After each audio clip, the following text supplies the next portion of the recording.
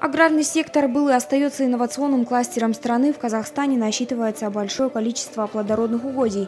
В этой связи остается важным использование современных сельскохозяйственных оборудований. Так, в Кукшетау состоялась ярмарка техники, предназначенная для данного направления. Такая выставка проходит впервые за последние два года.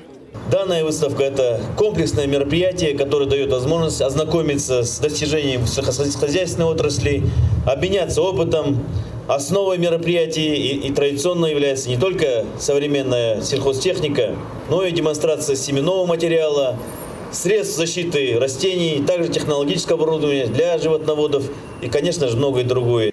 Далее глава региона провел агросовещание. Стоит отметить, в прошлом году, несмотря на аномальную жару, в области был получен неплохой урожай. В этом году результат стоит не просто повторить, а приумножить. Именно для этого многие вопросы весенней полевой кампании были выдвинуты на всеобщее обсуждение. Хотелось бы отметить, что показатели прошлого года качества урожая были значительно выше 2020 года. Ну, все вы об этом знаете, я констатирую эти факты. 92% соответствовало зерну третьего класса. На совещании был обособлен факт завышения цен на социальный хлеб в прошлом году в связи с удорожанием зерна. Однако Акимом районов было дано поручение сдержать стоимость в текущем. Булка хлеба весом в 600 грамм из муки первого сорта не должна превышать цены в 105 тенге. В целом качество и количество зерна напрямую зависит от погодных условий осадков. Нынешняя зима выдалась теплая, снег с полей сошел рано. Специалисты, в свою очередь, отмечают, если вовремя учесть все факты, урожай можно получить выше, чем в 2020 2021 году. В условиях острой засухи формирование урожая происходит только за счет запаса почвенной влаги, а, урожайность, а уровень урожайности определяется количеством накопленных осадков в осенне-зимний период.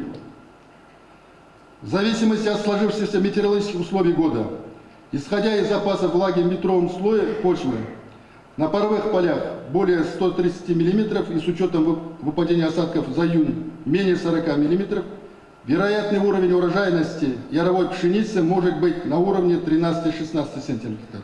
В ходе совещания было отмечено, что в Казахстане в основном используются отечественные сорта семян. Спросом пользуются и завезенные из соседней России, но специалисты твердят, что больше урожай дает именно продукция казахстанского семеноводства. Также обсуждались вопросы животноводства, пастбищных земель и удобрений.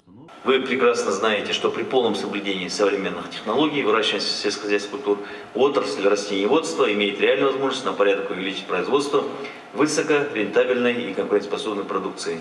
Текущая ситуация требует, чтобы мы как можно быстрее прилились к мировым стандартам сельскохозяйственного производства.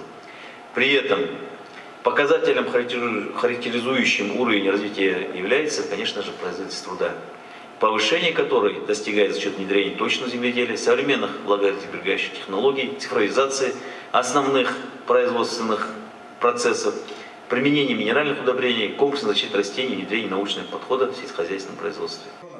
Александра Гауэр, Джусуна Мирзак, Алмаз Адвокасов, Кукши Акпарат.